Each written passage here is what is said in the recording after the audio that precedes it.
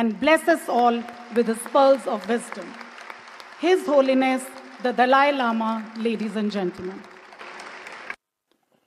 Respected, my dear friend,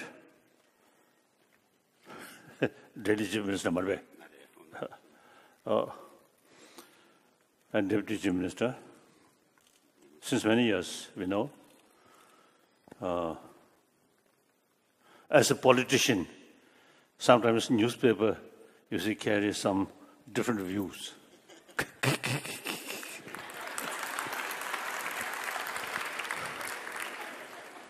then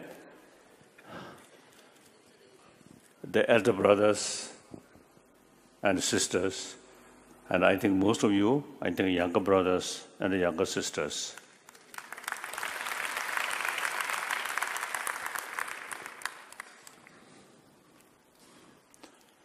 I really feel a meaningful sort of meeting.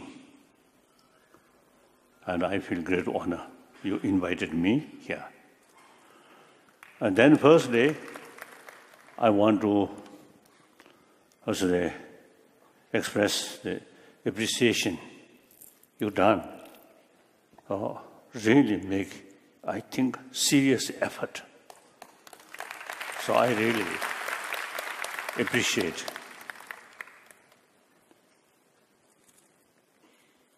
And you mentioned the existing Indian modern education introduced by Britisher. Uh, at that time, I also, you see, same view, same feeling. At that time, I think Indian, as a traditional sort of educated people, scholars, I think should involve uh, India, not one European country. This country, as you mentioned rightly, three, four, five thousand years already, you see, you have uh, certain sort of education or knowledge. So it is quite a pity when uh, modern education introduced here, I think should combine with ancient Indian knowledge.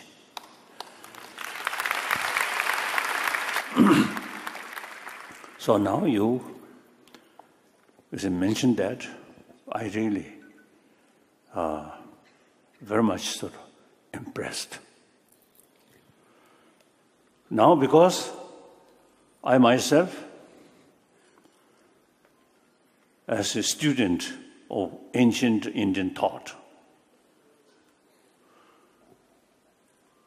in 8th century, I think firstly, I think 7th century, Tibetan emperor, in spite of very close relations with Chinese emperor through marriage, but he preferred Tibetan script at that time improve or uh, uh, newly sort of develop.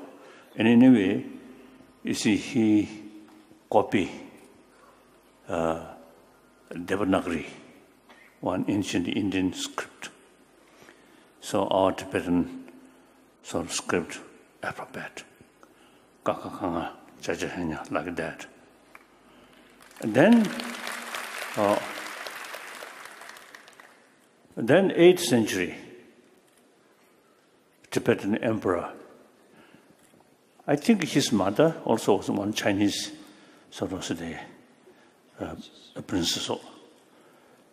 Uh, and China already is very much Buddha Dharma very much flourished already in China. But then he prefer, say, the proper teacher of Buddha Dharma should come from India. So he invited, 8th century, at that time, Nalanda institution, so Vasudeva, because of the highly... Uh, oh, so at that time,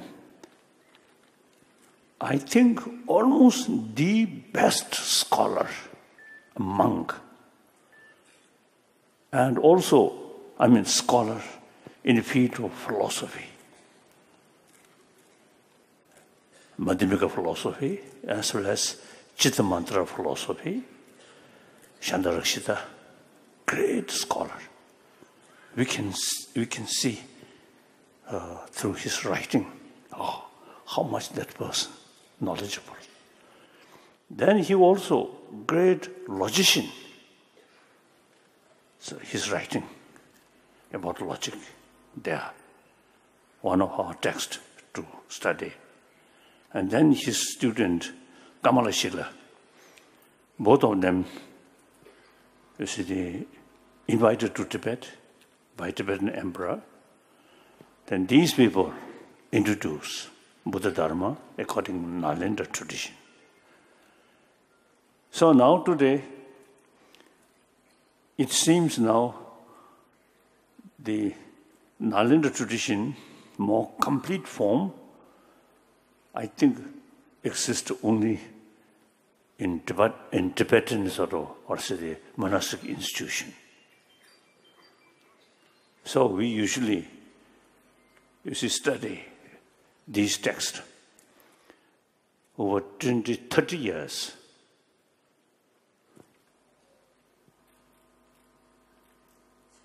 I myself also used to study, study these texts. When I carry study, I was quite reluctant, lazy student, not much interest for study. but those subjects which I learned with great reluctance, eventually I found ah, very, very useful this knowledge.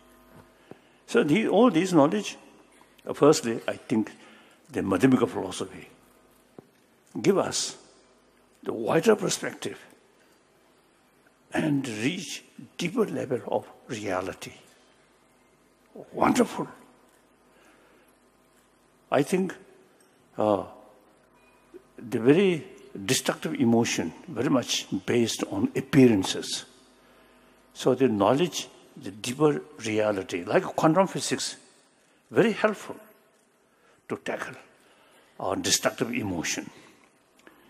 Then the way you see to approach these things, we use extensively logical approach. Buddha himself, you see, told, told us you should not accept my teaching out of faith, out of devotion, but rather thorough investigation. So some of his followers, like Nagarjuna, Chandakirti, and they, even if some Buddha's own teaching, teaching which give uh, certain sort of audience, so according that sort of uh, mental disposition, Buddha taught certain sort of uh, a certain concept. So that, then later Nagarjuna and these people rejected Buddha's own sort of uh, text, text sobre, teaching, sutra. If you accept this Buddha's teaching literally, it goes against reason. Therefore, we must reject. It's quite unique. So, this master, you see, taught us the logical approach. Everything. Investigate and experiment. So therefore, the, uh, the according Nalanda tradition, uh, these Buddhist masters, you see, they are, since they very much emphasis on reason, experiment. Therefore, our thinking very scientific way. So last over 30 years, I have serious discussion with modern scientists. As a result, now it become very clear, meeting with scientists, mainly cosmology, four fields, cosmology, neurobiology, uh, physics, particularly uh, quantum physics, then psychology. It's very useful, music learning. So all these knowledge come from Nalanda. Before, one, one great Tibetan, or say the uh, spiritual leaders, as well as great scholar, he expressed, till light of India reached Tibet, Tibet, in spite land of snow, still dark. Only after India's light reached there, then Tibetan become bright. It's quite true. So I always see uh, expressing traditionally, histor- historically, we are chela of Indian Guru. And also, I usually is telling, we are not only chela, but quite reliable, trusted chela. Truly. So over a thousand years, look in India itself, like Nalanda, ruined, nothing there. Uh, but all this knowledge we kept over a thousand years. So now, in, now is my main point is, as a now uh, nearly 83 year old person, I have a lot of sort of uh, meeting with different people and watching the world. Then a lot of trouble. Many of these trouble, besides nature disaster, many of them our own creation. According to scientists, basic human nature is more compassionate. Yet we created a lot of problem through anger, hatred, jealousy, suspicion. So now, the modern education, nothing to offer regarding inner peace. Because modern education very much oriented about material value. So, see, every country, humanity, through modern education, then they create materialistic culture, materialistic life. So external values very difficult to bring inner peace. So therefore, now I always is telling everywhere. Now just uh, materialistic education is not sufficient. Now we should look uh, uh, inner value. These days I describe the hygiene of physical in our education. The in education. Hygiene hygiene of physical they are good. Now we need hygiene of emotion in our education. Very important. Healthy physical but mentally much disturbed mind. And then the healthy physical sometimes you see create more trouble. So the healthy physical, similarly, same time, is a healthy mind. Then very good. So now, I think whole world need some kind of moral ethics, education about moral ethics, not based on religion, but based on our common sense and uh, scientific finding. So when I carry this message with conviction, then look India. Over 3,000 years, education about our mind already there. So, they, in order to tackle, tackle our emotion, this country developed practice of shamatha, practice of vipassana. before Buddha come, already exist the practice of shamatha, practice of vipassana. So Buddha himself, product of ancient Indian culture. So, so now I really feel only this country, India, have the ability to combine modern education and ancient Indian knowledge combine modern education I say very helpful to material development. And we need material development. Uh, and then ancient indian education or knowledge about our inner world our emotion how to tackle our emotion. Thousand years in this country the concept of ahimsa there. ahimsa and karuna combined. Without karuna, ahimsa, uh, not possible. So, uh, with that concept, now this country, over a thousand years, religious harmony in there. According to Indian sort of understanding, secular means respect all religion and also respect non-believer. It is very practical and very wise. So the secular ethics, uh, you see, they carried in this country. So now today, India, over one billion population, there are some problems.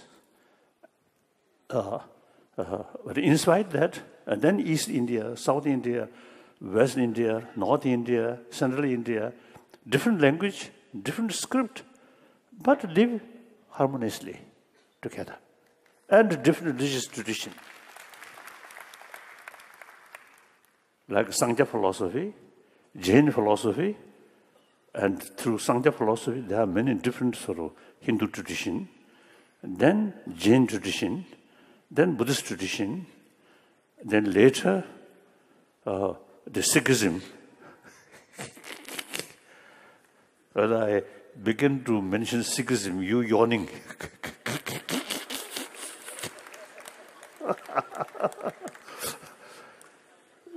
the Guru Nanak, I think Hindu background, he deliberately take pilgrimage to Mecca to show religious harmony.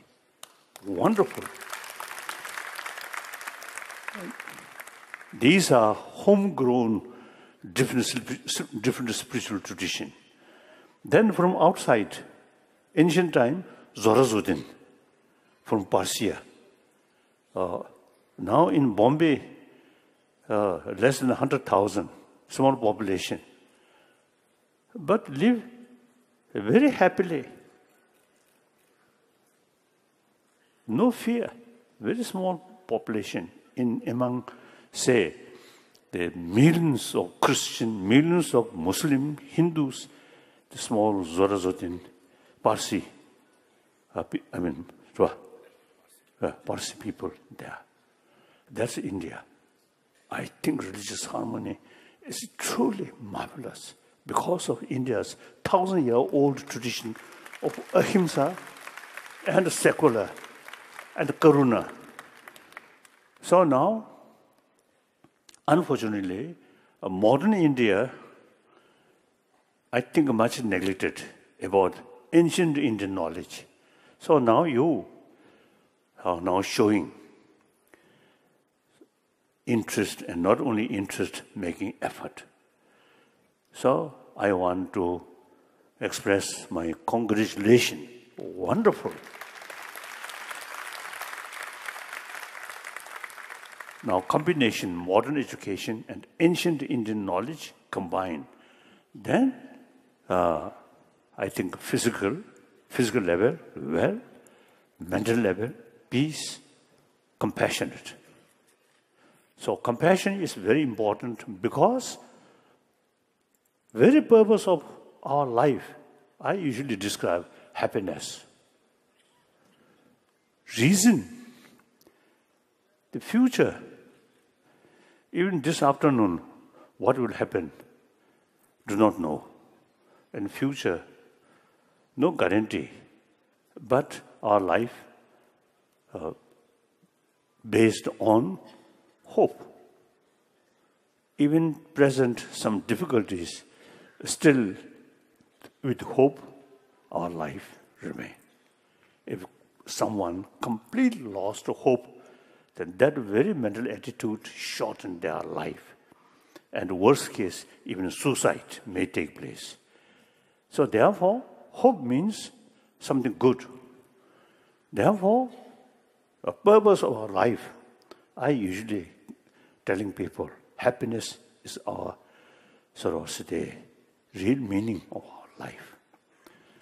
Now happiness, the materialistic way, happiness only sensorial level. Seeing something nice, hearing some beautiful music, and taste, and smell, and touch, including sex. these are materialistic sort of or say happiness materialistic level happiness. These are short not long lasting happiness. Long lasting happiness must develop on mental level. Even you see faith not sensory level mental level. So faith brings inner peace. Now in this country, Sangha philosophy, Jain philosophy, uh, one part of Sangha philosophy, and then Jain philosophy, Buddhist philosophy, no creator, rather self-creation. So therefore, uh, the concept of karma also come. Everything depends on your own action, positive action, uh, virtuous action bring good. Harmful, sinful action bring uh, suffering.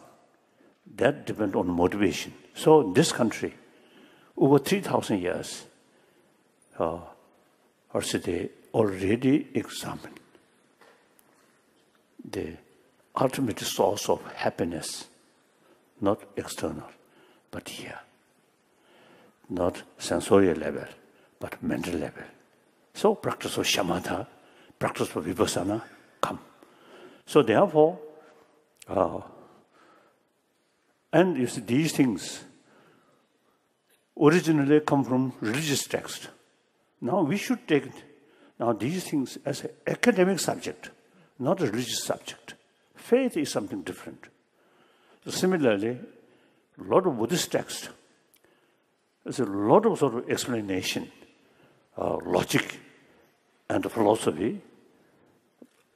The original source, religious text, but we should take this as an academic subject so that millions of Hindus millions of Christians, Islam, you see, can learn psychology and, and logic. You see, remain your own faith. But meantime, these things consider as a academic subject, and, and I think worthwhile to study, to learn. So, so now whole world facing some problem due to very unrest emotion, the emotional crisis now really know, taking place on our in this world. So in that case, ancient Indian knowledge, the way to tackle our emotion is very, very relevant. Not only ancient sort of knowledge, but relevant, re very, very relevant today's world. So not, you see, these not carried by uh, temples or ritual or kasoda, ka, or prayer. No, through education, through education, and strictly secular way. So once this country you see, develop more complete form of education, taking care physical, similarly taking care or emotion our mind, then I have no doubt. I think Chinese, historically, Buddhist, Buddhist country, wherever Chinese sort of community there, some Buddhist temple, like Vietnamese, always there. So they also, I think, uh, pay more attention about the education field, education, about modern education, plus uh, education about uh, how to build inner peace, how to tackle destructive emotion, strictly secular way. So I think revival of ancient Indian knowledge, firstly in this country, then other Buddhist countries, certainly I think uh, uh, will, uh, will take some sort of experience from India, and then China. And if China, India, both, you see, they pay more attention about inner value through education, then combine these two nations uh, over two, two and a half billions of human beings. So very important. Now Delhi, a capital of Indian Republic, Now you start some sort of effort. So I feel uh, very, very useful. Oh. And so, as I mentioned earlier, we traditionally chela of Indian guru. Now modern time, Now it seems now traditional Indian gurus chela now become guru. traditional our guru not much knowledge these things. so uh, so India introduced these things, combine modern education and ancient Indian knowledge combined. Then you truly become a modern guru. and other country becoming modern jela. so that was I want to share with you. So now here, uh, most of them teacher. These, huh? Huh? So these sort of uh, knowledge, firstly, you, as a teacher, you yourself sort of think more seriously. Then, uh, and also you see, combined with modern scientific finding, then you can teach children. Not just say, oh, this book mentioned that and this book mentioned that, not that way use common sense and scientific finding, then it becomes real sort of interest and conviction. So I usually describe myself half Buddhist monk, half scientist. So it can go. Those tradition, not just based on faith, but through sort of what's a vipassana, investigation. That's very scientific. So I think through education, this country, firstly, this country, you see, can make some kind of the new revolution, revolution in education field here. Then it affects large number of Asian countries, then also European countries or South and North America. So therefore, uh, you see, your work really, I think, eventually can be benefit to entire humanity. Thank you.